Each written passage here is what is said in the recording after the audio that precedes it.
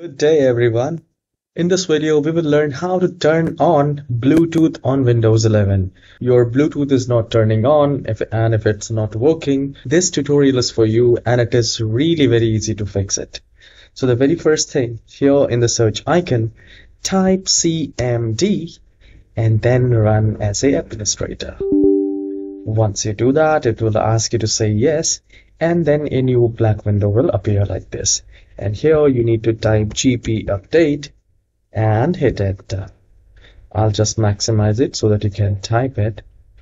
Once you have typed gp update it will update the update the policy and then you can close it. Once this is done here in the search icon type services and you will find services app. So please open that. So here check for bluetooth service please make sure all these services are running and just do a right click go to properties and from manual to make it automatic and then click on apply and ok.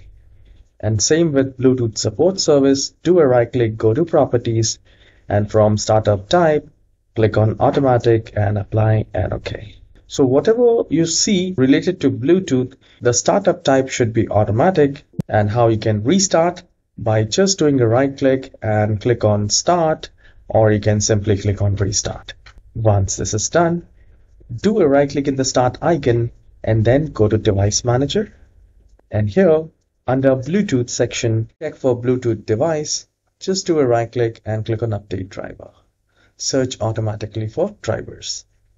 Do it for every driver here. I see Bluetooth device then Intel wireless Bluetooth. So whatever you see here in Bluetooth, please make sure you update it. And once this is done, you can simply close it and do a right click in the start icon again.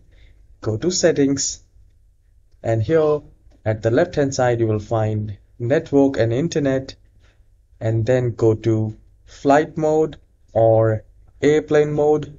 Click on that Please make sure this wireless device is turned on. It should not be turned off.